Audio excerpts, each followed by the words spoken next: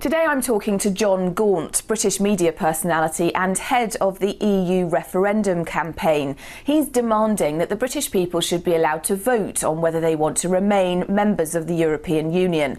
Jon Gaunt, thanks very much for talking to RT. Now, first of all, tell me a bit about the EU referendum campaign. This is purely about getting our democratic right to have a vote because three leaders have promised us it. It was a Labour Party manifesto commitment by uh, Tony Blair, then Gordon Brown, of course, and then David Cameron, famously in oppositions, gave a cast iron guarantee that he would have a referendum on the subject. So once I realised it was that, I thought, yeah, hold on, this is wrong. And I do believe we've been uh, denied our democratic right. So that's why I'm involved in the EU referendum campaign. It would be costly to implement a referendum on being in the EU. I mean, the UK is already a member of the European Union. Isn't it better just to let sleeping dogs lie? Yes, it would be costly to leave, but it's costly to be in it. It's costing the British taxpayer £48 million a day to be in the EU. We've just given um, uh, Ireland uh, another £7 billion of our money, for uh, another £450 uh, in the budget uh, increase. It's going to be even more than that. So it's costly costly already. And anyway, I'm not saying vote to get out. What I'm saying is let's have the discussion, you know, on the BBC and on programmes like this, you know, the pros and cons of Europe, so that the British public can decide whether they want to be in the EU. And I must stress, I'm not, and certainly this campaign isn't, uh, anti-European. It's uh, it is just saying, uh, be, uh, let's have a vote, let's have our democratic right. And I think democracy, no matter what it costs, it's a price worth paying. But you say you're not telling people how to vote, but surely the very fact that you want a referendum suggests that you're not happy with the status quo and therefore want out. Well, well clearly, clearly the reason we want a, a referendum is because we want the British public to decide. Uh, and I would, I of course, I personally will probably end up voting to come out. But what I want more than that is I want to have the big grown up debate about it. I want the BBC to fulfil its role, to have both sides of the argument properly discussed rather than just peddle, as they have done for so many years, the pro EU line. We need to have an honest, grown up debate. Who knows? I might change, I may change my views. I may begin to think the £48 million a day we give to the EU is good value. I somewhat doubt it, but I'm quite willing to find out.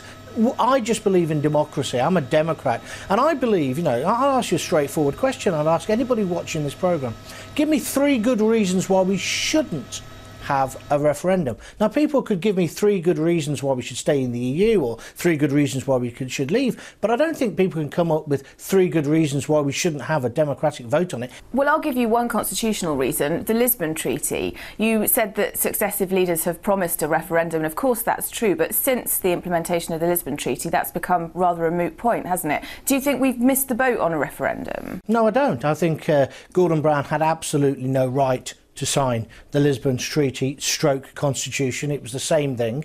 Uh, the manifesto commitment by Labour was to have a referendum on that. They played with words. David Cameron played with words. Once he got into power, he said, oh no, we can't have one now because it's been ratified. He could say, yeah, he could have said, yes, we can just like Nick Clegg wanted, we'll have a straight in or out. So, no, this is why our campaign is so simple, Laura. It's a straight, shall we stay or shall we go, like the Clash, the old uh, punk rock song uh, a group used to sing. That's why we're keeping on that, so the man in the street can understand it. We don't want to get carried away with this treaty, that constitution, that discussion. Let's centre on the basic facts.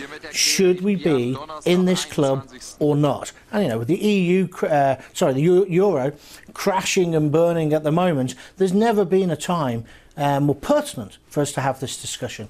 Ireland's in a lot of trouble at the moment, and the EU and the IMF have stepped in to bail them out. Surely Ireland would be in a lot more trouble if they didn't have that kind of backup. So, isn't the EU a force for good? Well, let's not forget, of course, the Irish had two referendum. They were forced to vote again because they got the decision wrong, according to the political elite. Uh, no, uh, uh, personally, I don't think we should be bailing out Ireland. I mean, that's my own personal view. Uh, I, I, thought it was ironic. I was watching the budget this week in Ireland. Uh, their stamp duty uh, up to a million euros is only 1%. Well, ours is at 4% at £750,000. Their child benefit is crazy, the amount they pay out in child benefit. Their corporation tax, they're keeping at 12.5%. No wonder countries are relo- uh, companies are relocating from Germany, from Portugal, from Spain, and from uh, the United Kingdom to Ireland. Well, how can you have monetary union if you haven't got every other form of union and political union in place? The answer is you can't. How can you tie the economy of Greece to the economy of uh, Germany?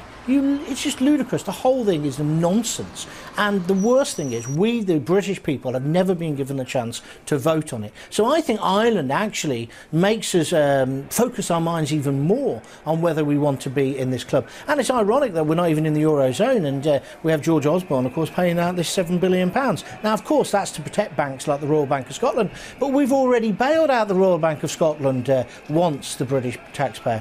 And I'm no great union uh, supporter normally, but I actually agree with people like Bob Crow at the moment, who's in charge of the uh, uh, RMT union, the train, dri- drivers and train workers union, when he says uh, it's not his members who got us into this mess, it's the bankers and the politicians with their lax regulation, but it's his members who are paying for it. Just like the students who are protesting, it's them who are ending up having to pay for it. It's ordinary taxpayers.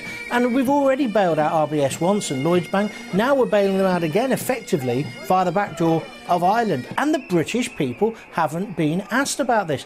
You know, David Cameron came to power and he, in his budget he said we're going to ring fence the NHS and we're going to uh, ring fence foreign aid. Well, he didn't just ring fence foreign aid, he's increased foreign aid. We've now bailed out Ireland. He also ring fenced our contribution to Europe and increased it, of course. Went to Brussels, bragged that he was going to keep the budget down, actually increased the budget. That was no Mrs. Thatcher handbag swinging victory for the United Kingdom. It was a dismal failure, and people should say, and he's spinning it. Him and Claire at the moment. They've got more spin than a washing machine assembly line. And the British people are waking up to this, and the British people are saying, look, we can't afford, we, we can't pay, we won't pay. That's what the student protests are about. And we're going to see more protests during this winter of discontent because ordinary folk are saying, why should we lose 40,000 police officers? Why should public sector workers be losing their jobs? Why should meal on wheel, Meals on Wheels be cut? Why should help for the elderly be cut? Why should the arts budget be cut? Why should we not have enough money in our coffers, but we've suddenly can find seven billion pounds. There would be no need for these cuts. Lots of economists argue if we weren't in the EU. So there would be no need for the students to be protesting, and that's what needs to be discussed. And we are seeing lots of protests. They started mm. off in, in uh, continental Europe and they've now undoubtedly spread to the UK. Do you see this as the sort of beginning of the end of the EU? I, I certainly think the uh, euro is crashing and burning. I believe Portugal will go. Uh, I believe Spain will go. I was in Spain just two, three weeks ago. I do a lot of radio shows over in Spain. There's swathes and swathes of uh, council, uh, not sorry, not council, housing estates with brand new houses and apartments completely empty, just like in Ireland. They're never going to be occupied. Uh, property um, boom fueled by uh, reckless lending. Again, I believe that they'll crash. I think when the EU, when the euro begins to crash, then you have to ask yourself, can the euro, uh, sorry, when the euro collapses, can the EU survive as well? And as you say, it's right across Europe. I mean, you know, in Germany now, people are protesting. They don't want to bail out these countries. They, have they've, they've had a sensible banking uh, system. And the, the great irony was in Brussels, what, two months ago. In Brussels, they were discussing the budget. They were discussing the hospitality budget. They put it up to 2.1 million pounds. Meanwhile, 100,000 Europeans Europeans were on the streets, all different languages, all different nationalities, uh, protesting about the austerity cuts. 100,000 people inside, they were basically voting to increase their budget for oysters and champagne. That's what's wrong. There's a disconnect between the political elite, not just in the United Kingdom, but right across Europe, and the ordinary man and woman in the street. And I think ordinary men and women have had enough. They're the ones losing their houses, they're the ones losing their jobs through no fault of their own. And something's got to give. And I think what's going to give is definitely the euro and probably the EU. And in a lot of ways, bring it on, say I. But first and foremost, let's have a democratic vote. It'd be much better for us to have a vote and decide we want to leave this before it collapses. With people on the streets demonstrating in what really amounts to civil unrest, is this really the time to be talking about something like an EU referendum, which seems like a separate issue in, in the face of all this trouble that we're seeing? You can't really discuss our economy. You can't discuss our laws. You can't discuss our human rights. You can't discuss any kind of cases that are happening in the UK without thinking either of uh, the EU or the European Court of Human Rights. It affects every aspect of our lives because we are part of it. We were never given the chance to vote on it. That's why it's becoming a hot potato. And this lie that they're spinning, you know, Nick Clegg and David Cameron were all in this together. Well, actually, we're not because 19 out of 24 of the cabinet are multi-millionaires. And briefly about the students, do you support what the students are doing in terms of going out onto the streets, yeah. burning stuff, uh, throwing things? Uh, I, I, support the students completely in their right to protest. Today in the Daily Telegraph front page, the Metropolitan Police Chief is saying, don't let your ch children go on these protests. What a load of nonsense. I don't want to live in a country where our Chief of Police tells us who can protest and who can't. Of course you can't condone kids send, throwing extinguishers off roofs, it could have killed somebody. However, by the same token, they got carried away. I do think it's right they're protesting. Uh, I do think it's right the unions are joining them. I do fully support their protest. I don't support or condone the violence. And uh, I fully support the students and I, I hope the protests escalate uh, and, and, I think they will. I mean, we've seen protests this week, for example, at Birmingham University, sit-ins and stuff. I hope they do. It's great to see students protesting again.